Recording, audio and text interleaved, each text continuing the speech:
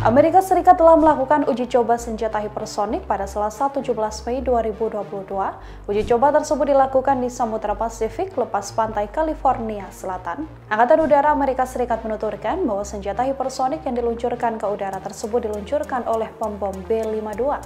Dikutip dari Sky News, Amerika Serikat mengklaim bahwa kecepatan hipersonik tersebut lima kali lebih besar dari kecepatan suara. Peluncuran senjata hipersonik tersebut dilakukan tak lama setelah Inggris, Amerika Serikat, dan Australia sepakat melakukan kerjasama dalam persenjataan hipersonik dan anti-hipersonik. Fokus negara-negara tersebut yakni untuk memasukkan senjata hipersonik di tengah invasi Rusia ke Ukraina. Sebelumnya pada Maret lalu, Rusia juga telah mengerahkan rudal hipersonik Kinzhal di Ukraina Senjata tersebut dikabarkan terbang dengan kecepatan 10 kaki kecepatan suara dan tidak bisa dilacak atau dicegat dengan kecepatan lain. Peluncurannya diketahui berhasil menghancurkan gudang bawah tanah yang menyimpan rudal dan amunisi pesawat di sebelah barat Ukraina, menurut klaim seorang pejabat Kementerian Pertahanan Rusia.